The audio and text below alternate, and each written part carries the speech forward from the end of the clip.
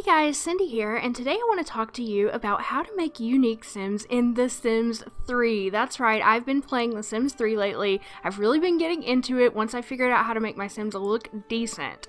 And as I've been playing, I've wanted a way to create unique Sims similarly to how we create them in The Sims 2. Uh, but unfortunately, The Sims 3 makes that a little more difficult because it has all these sliders, and there's no way to really count the clicks on the sliders as you can in The Sims 2's body shop. So at least that's what I thought before I started using Create a Sim through Master Controller. So after finding a way to measure the changes made via the sliders, I created a generator in Python similar to the one for Sims 2 created by Kimtail and I'm going to show you how to use it. I have it on my website now and you can go and use it for yourself and I'm going to do some demonstrations today to show you what kind of unique sims you can make with it. First you'll need to visit the NRAAS website and download the Master Controller app and you'll also need a module that comes with Master Controller called Integration. So you'll see that down below the main mod. You need Master Controller and you need Master Controller Integration. You need both of those for this to work. Um, there are a lot of awesome uses for Master Controller, and I recommend it to everybody who plays The Sims 3, but today we're just going to go over the Create a Sim function. So the integration module replaces all the Create a Sim interactions in the game with the ones managed by Master Controller. In this picture, you can see the numbers next to each slider name. That's a feature of the mod that provides a way for us to count the clicks, so to speak, for each slider. After you've installed the mods, start the game and enter Create a Sim. If you've installed them correctly, you'll see the numbers next to your slider names as shown here. And if you don't know how to install mods in The Sims 3, I'm not going to go over that here. There are a lot of great tutorials out there. Just Google it. So now we're ready to roll our features and create our sim. The sim you see here has a lot of custom content. Well, not a lot. She has a skin and eyes, which makes a big difference in The Sims 3. So we're going to create a sim with custom content and one without, so you can see what the generator can do in both instances because I know not everybody likes to use custom content. So here is what the generator looks like. It will be embedded in my website at the link below, so you can just click on that and follow along with me if you like. When you first load the page, it's going to say roll head and it's going to have like a blinking input next to it. Just hit enter and it will roll the numbers for the head. So we can have we have a face height of negative 239, face profile negative 239, okay, and head width of negative 216. So in our game, if we go to the very first tab, head and ears, the generator begins with the global sliders for head and ears. So we got negative 239, I actually hate to even change this sim because she looked so pretty as she was. Maybe we'll go and start from like face one, just so you can see like what the differences are going to be. Okay, back over here to advanced. So when you go to the tab, you have to hit the little uh, magnifying glass here to get to the sliders if you don't know that. So we're going to go face height negative 239 and face profile negative 239. And we're just basically going to go down the list like this, changing all of the sliders. Negative 216 on this one. So what I've done with the generator to make sure that your Sims don't turn out to be just hideous monsters with all the sliders on extreme ends is I have given each slider its own unique value. Um, so I went through, looked at each slider and decided how far in each direction I thought they should go. Now that doesn't mean you're not going to still end up with some weird looking Sims, but you shouldn't end up with any monsters like this. So now that we've adjusted the face, we're going to move on to the chin. And on the generator, we're just going to hit enter next to roll chin, and it's going to roll all of the chin values for us. We have 27, 100, 64, and 143. So we're going to go ahead and adjust the chin values now. And one thing I want to talk about is it might be difficult for you to get onto the exact number that you rolled. I was able to get to chin depth 127, but if I try to go to chin height 100, it may not land exactly on 100. Well, it did. Of course it did. Let's try chin scale 64. So as you can see, it kind of jumps around 44, 47, 59. So I would just recommend that you get as close as possible. Like here, I can't get to 64. I can get 62 and 65. Um, and I think this has something to do with your resolution. It seems like the larger my resolution, the harder it is to select the exact number. I don't know.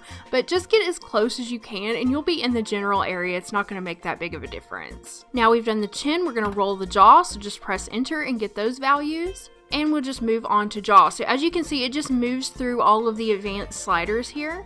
So you can just hover over it to see which one you're on. And of course it corresponds to the face part that it's on. so edit jaw settings. And I won't bore you, so I'm just gonna go through and set all these and then I will come back and show you what we have at the end. Oh, and before we get to the end, I want to point out there are some options for alien items like alien ears and alien eyes. These are not included in the generator because I figured that you don't want your random townies to look like aliens, so I didn't include those. So here is what our sim looks like after putting her through the generator. She looks pretty cute, except I'm not crazy about her mouth. So one thing I will do is after I finish all my rolls, I will go back and tweak the faces a little bit if need be, just to make the sim look decent, because not all combinations of rolls are going to look great together. You could still, even with my precautions, you could still end up, like look at this nose you could still end up with something like that or like a nose that's too high or nostrils that are too small. So I just kind of go in and tweak it a little bit. So I right now I know I want to fix the, her nose bridge. I don't like that. So I want to fix the depth on her nose bridge a little bit. And I'll still keep, you know, her overall appearance, but just fix the little things like that that may not look good. So I also want to fix her mouth because I don't know, I just feel like it's too pinched or something for her face. So after a little bit of tweaking, just I tweaked the bridge of the nose and I tweaked her mouth a little bit just to make it just to make it look decent. And I even do that in The Sims 2 when I use the generators if if I need to. Sometimes you end up with something weird looking and you just need to go in and fix it. And the end result is a very unique looking sim that I am quite happy with. So this is the process that I've been using to create my sims in The Sims 3 and I know you guys probably want to see what it looks like without custom content so let's do one without custom content. I've taken all my custom content out and we are back in Create a Sim. I just want to say if even if you don't use any other custom content in The Sims 3, I highly recommend finding a good skin and eye replacement because I'm sure you can tell the difference between my previous sim and this sim with no custom content. That's all I want to say. And if you don't know where to look, I'll put the links to the ones I use down below in the description box. Okay, so first of all, I'm going to press randomize, and I usually do this a couple times until I get a face I want to start with. And you can really end up with some ugly faces by doing this. That's not a bad face. We'll start with this face. So once again, we're going to run the randomizer beginning with the head. I'm going to press enter and we have our values here. So back in the game, we're going to go to looks and we're going to start with head and ears. We've got negative 256. Oh, I let that one go all the way to the max, but I don't think face height really matters that much as far as letting it go to the extreme. For head width, it's always going to be a negative number. I put in the generator from 0 to negative 256 just because I think the heads are way too big in The Sims 3 no matter what you do, so the head width is always going to be a negative number. So I'm going to continue through all of these sliders, putting in each number that I roll, and I'll show you the result that I get at the end, and then we'll tweak it from there. Okay, I've put in all the numbers from the generator and this is the end result. I actually feel like he turned out really good and I don't need to tweak him at all. I like all of his features actually. I might change his brows because that just doesn't look very good. Um, so we'll go back to hair and just give him a different eyebrow.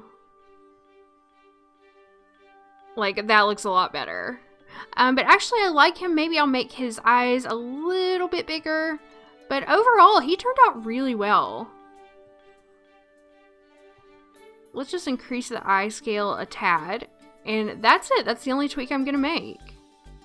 So here's another example of a sim made with the generator, this time with no custom content. This is just base game right here. And now I want to hear from you guys. What do you think about using a generator to create your Sims in The Sims 3? Or do you have another method that you use? Leave a comment down below and let me know. And also don't forget to check out all the links in the description box for everything you've seen today, including the generator.